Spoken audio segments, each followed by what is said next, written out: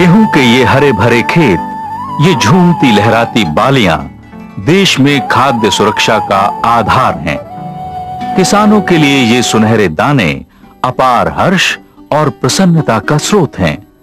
सुख और संतोष की इस अवस्था के पीछे किसानों का कठोर श्रम भी छिपा है। देश के मेहनतकश किसान लगभग ढाई करोड़ हेक्टेयर क्षेत्र से सात करोड़ टन से ज़्यादा गेहूँ उगाकर हर नागरिक की ज़रूरत पूरी करते हैं। गेहूँ के बुआई क्षेत्र को और अधिक बढ़ाना संभव प्रतीत नहीं होता। इसीलिए उत्पादन लक्ष्य की प्राप्ति के लिए अधिक उपज वाली किस्मों एवं बेहतर उत्पादन तकनीकों का सामंजस्य करना होगा। संसाधन संरक्षण प्रौद्योगिकी के नाम से प्रसिद्ध इन तकनीकों की लोकप्रियता लगातार बढ़ती जा रही है। इन्हें अपनाने से गेहूँ की उत्पादन लागत कम होती है। फलस्वरूप, किसानों की आमदनी बढ़ती है। मिट्टी की दशा सुधरने के कारण उत्पादन में टिकाऊपन आता है।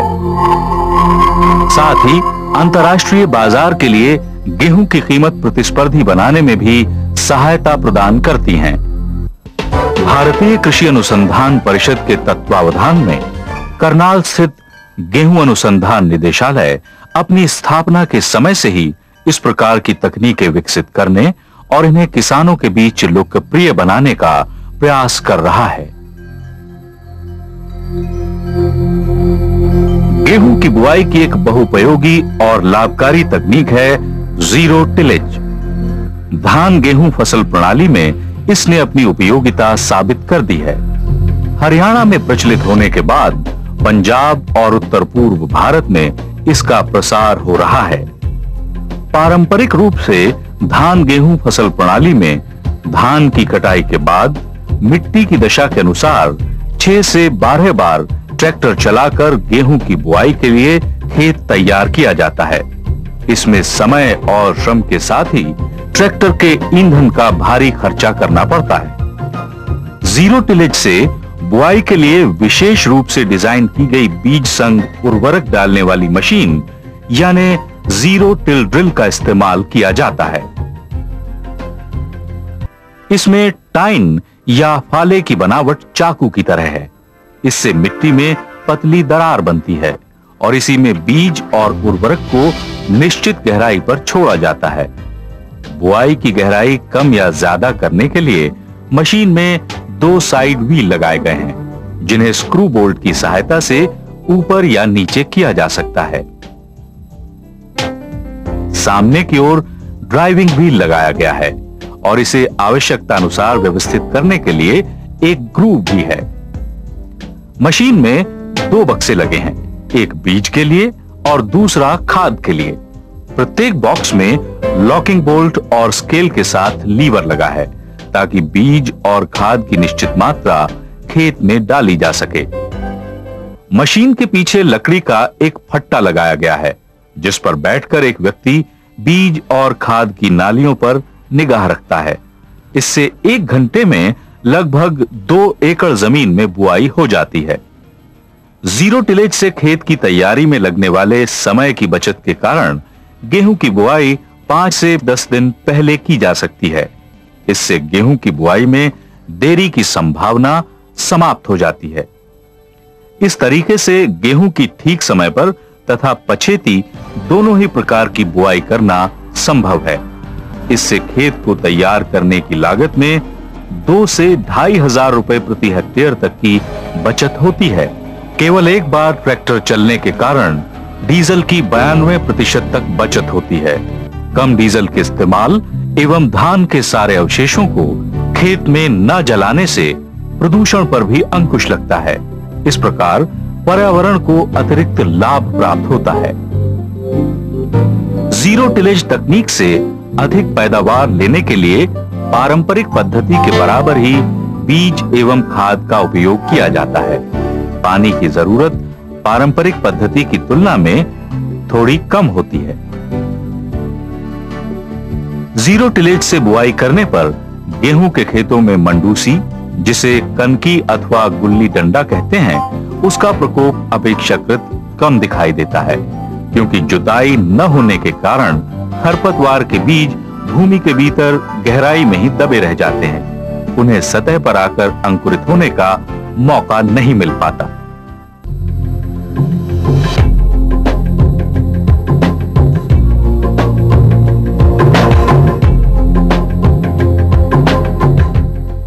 गेहूँ की खेती में कृषि संसाधनों की बचत के लिए विकसित एक अन्य तकनीक बेड प्लांटिंग, यानी फर्ब प्रणाली के नाम से लोकप्रिय है।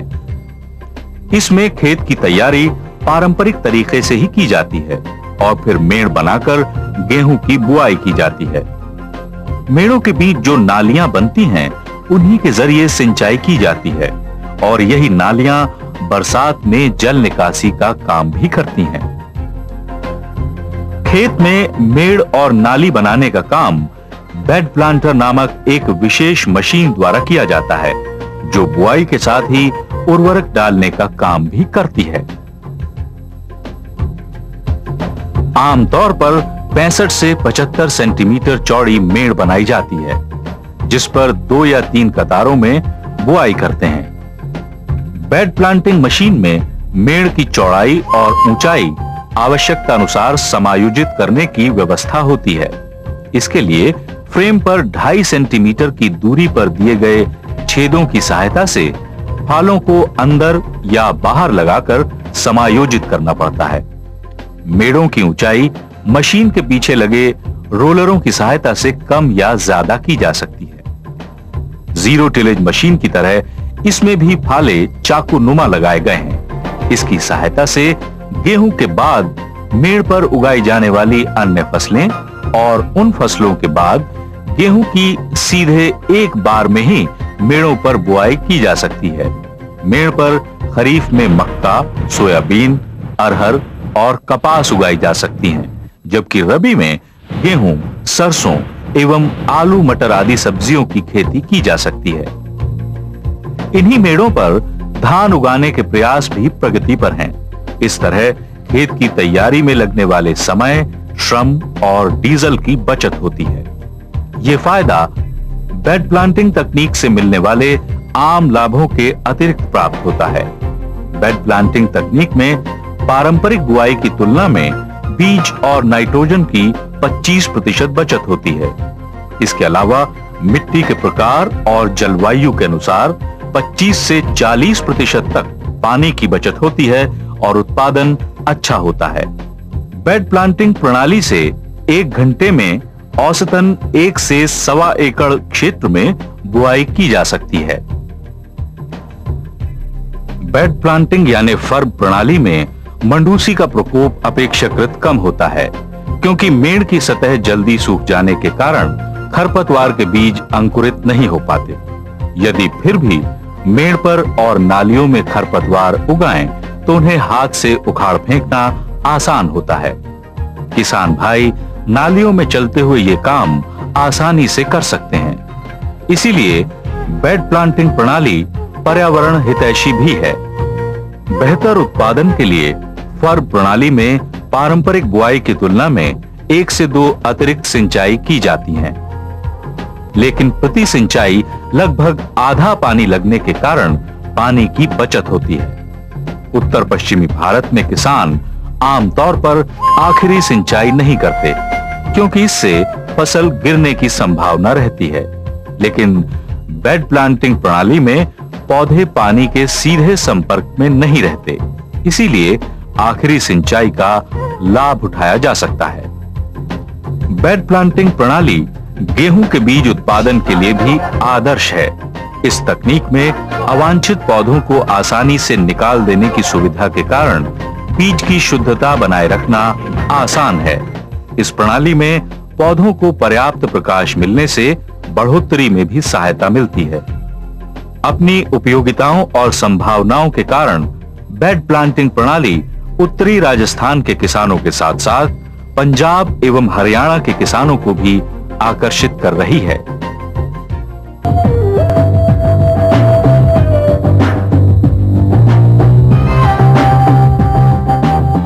संसाधन संरक्षण प्रौद्योगिकी के क्षेत्र में रोटरी टिलेज तकनीक एक अन्य महत्वपूर्ण उपलब्धि है।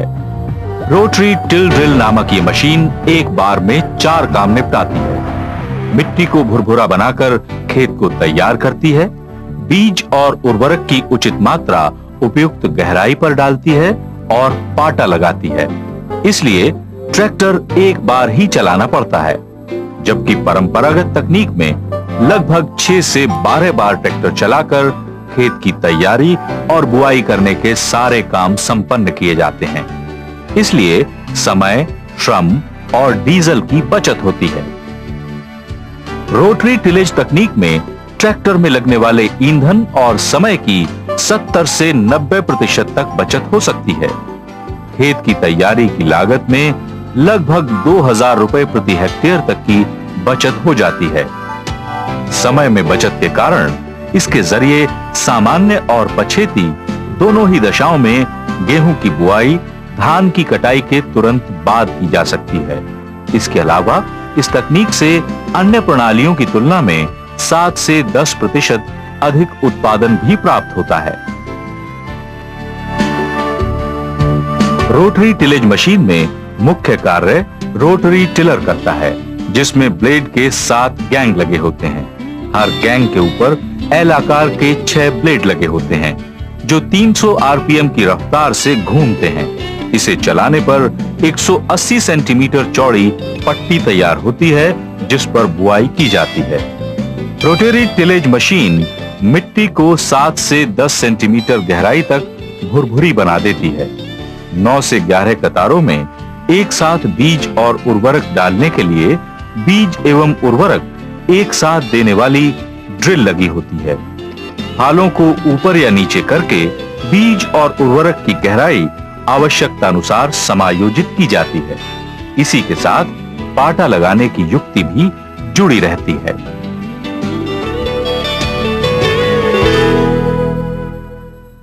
वैज्ञानिकों ने संसाधन संरक्षण प्रौद्योगिकी के रूप में एक अन्य लाभकारी बुआई तकनीक भी विकसित की है, जिसे सरफेस सीडिंग या सतही बुआई कहते हैं।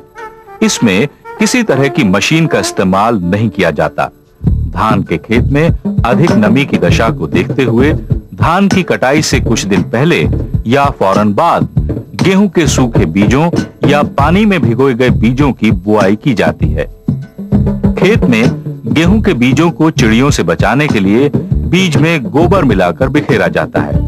ये तकनीक उन क्षेत्रों के लिए फ़ायदेमंद है, जहाँ धान के खेत में कटाई के बाद लंबे समय तक अधिक नमी बनी रहती है, जिससे गेहूँ के लिए खेत की तैयारी नहीं हो पाती। विवश होकर किसान को खेत से वर्ष में केवल एक फ़सल लेकर ही संतोष करना पड़ता है। पूर्वी उत्तर प्रदेश, बिहार और पश्चिमी बंगाल में ऐसी दशाएँ होने के कारण धान के बाद गेहूँ की खेती करने का अधिक प्रचलन नहीं है। लेकिन सतही बुआई तकनीक अपनाने से उसे गेहूँ की फ़सल लेने का अवसर प्राप्त हो जाता है। खेत की तैयारी में लगने वाले संसाधनों की बचत के कारण गेहूँ की उत्पादन लागत में काफ़ी कमी हो जाती है। संसाधनों के अभाव से जूझते छोटे और सीमांत किसानों के लिए सतही बुआई तकनीक आमदनी बढ़ाने का अच्छा अवसर है।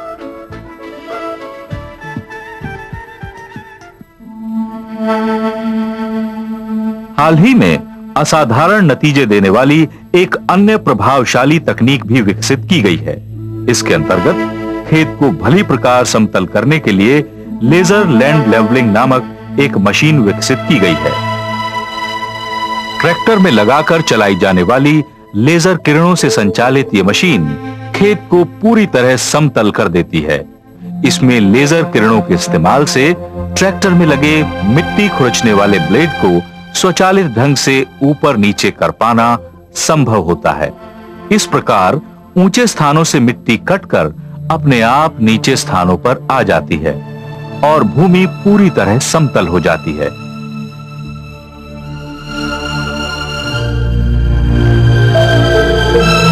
लेजर लैंड लेवलर के मुख्य रूप से चार हिस्से होते हैं। लेजर संप्रेषक, लेजर ग्राही, नियंत्रण बॉक्स और हाइड्रोलिक यूनिट। लेजर संप्रेषक द्वारा लेजर किरणें छोड़ी जाती हैं, जिनकी मदद से खेत के ऊँचे नीचे हिस्सों का पता चलता है। लेजर ग्राही ट्रैक्टर के ब्लेड के साथ जुड़ा होता है और लेजर संकेतों को नियंत्रण बॉक्स तक पहुंचाता है। लेजर संकेतों को विश्लेषित करने और ब्लेड के लिए आवश्यक स्थिति बताने का काम नियंत्रण बॉक्स द्वारा किया जाता है और अंत में हाइड्रोलिक यूनिट ब्लेड को ऊपर नीचे करने का काम करती है।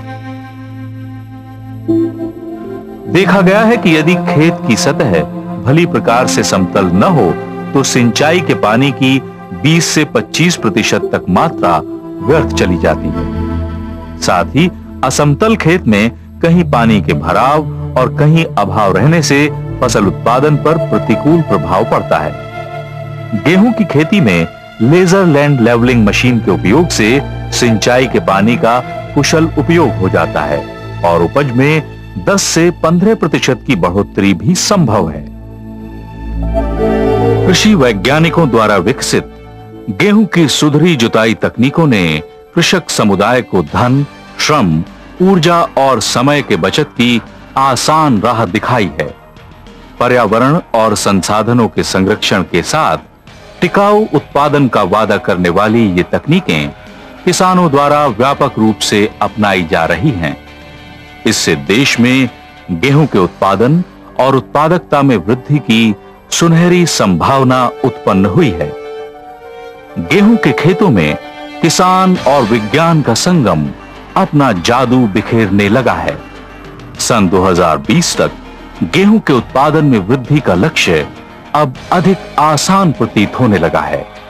आइए इन तकनीकों को अपनाकर देश की खाद्य सुरक्षा को ठोस आधार देने में अपना योगदान करें।